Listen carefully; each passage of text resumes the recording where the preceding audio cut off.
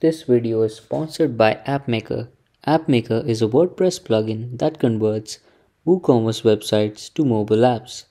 The mobile app builder helps you create native Android and iOS applications. Get 30% off by being first 200 sign up. Get the link in the description.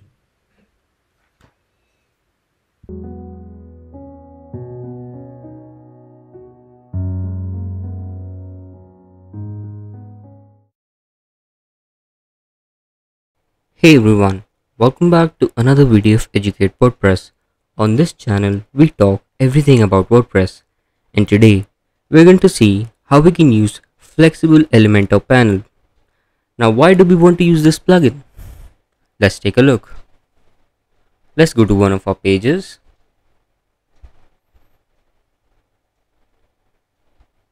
Now, whenever I open the Elementor editor,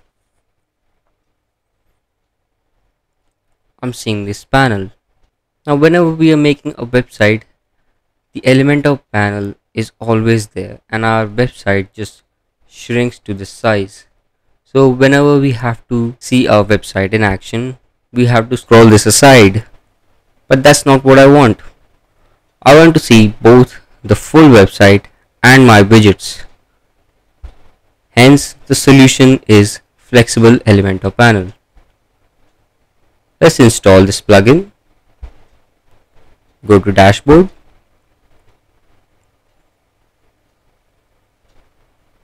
Plugins. Add new.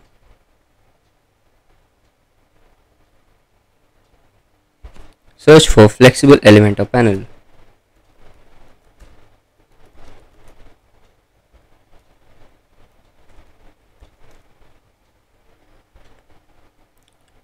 or head over to the link in the description.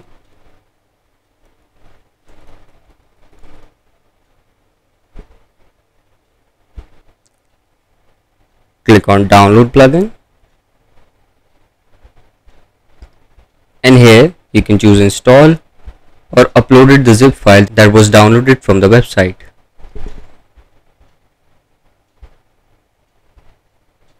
And then click on install now let's click on activate the plugin.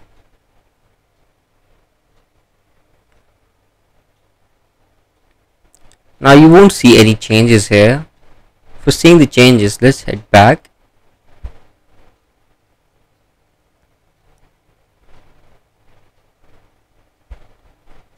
And as you can see we have this icon.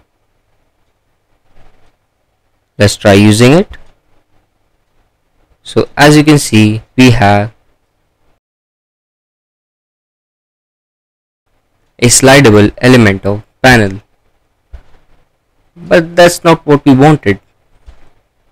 We still have this website in this ratio whenever we open our panel.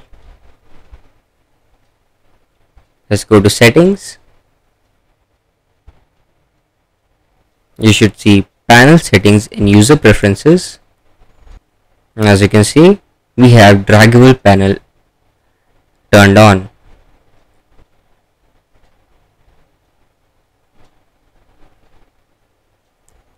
And when we have this turned on as you can see we have a panel movable. So I can see the website and add widgets without losing the aspect ratio of my website. Like for example I want to add a heading here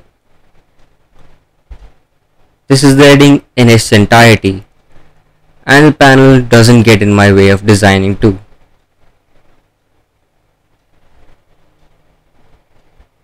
You can still move this panel to the left or to the right and the panel is gone now. I can still edit the text here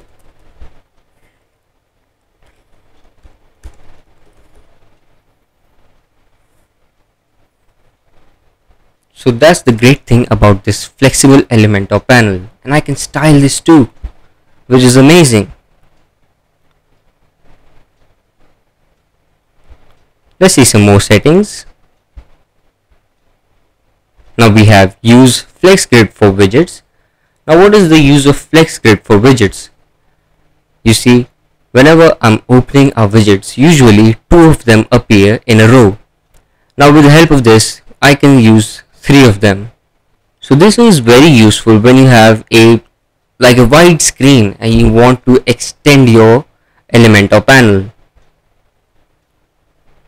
As you can see, now my elements are stacked in a row, but usually it usually it wouldn't be possible. I can make it short or long. I can choose the size however I want. Let's see some more settings.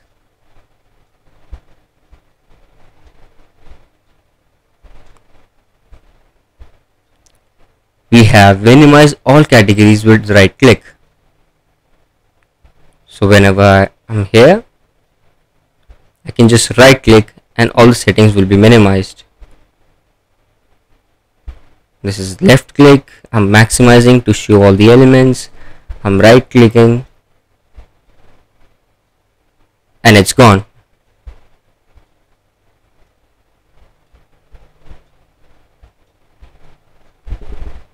We also have editor skins that will change the skin of this Elementor panel. Now this is dark orange and this is dark pink. Let's switch to default.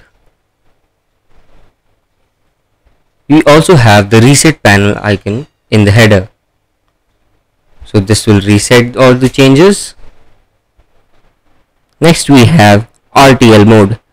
So we have whenever we have RTL mode available when the widget is turned to the right. So as you can see, we can slide it to the right whenever we want.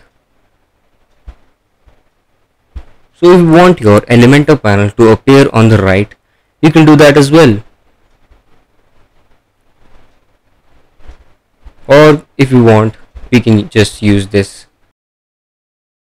and drag it around anywhere we want away from the content that we want to edit.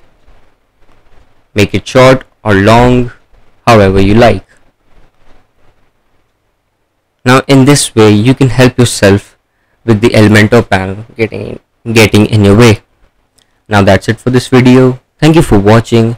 Like if you find this video useful and subscribe. Thank you.